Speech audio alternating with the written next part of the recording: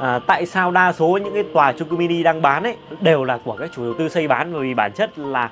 đa số những anh chị mà mua các tòa chung cư mini này để khai thác và vận hành ấy, thì cái mục tiêu của họ đều là đầu tư lâu dài cả. Ít ai mua mà xong lại bán đi luôn. À, đấy cho nên nếu như anh chị không phải là những người à, làm à, xây dựng à, chuyên nghiệp hoặc là chúng ta không có quá nhiều thời gian để chúng ta xây dựng thì chúng ta có thể là mua những cái tòa chung cư mini xây sẵn à, miễn sao nó thỏa mãn được những cái tiêu chí về à, vị trí này rồi là về cái công năng cũng như là cái dòng tiền à, mà anh chị đề ra. Còn nếu không chúng ta có thời gian chúng ta có kinh nghiệm về xây dựng thì anh chị hoàn toàn có thể là chúng ta tự mua đất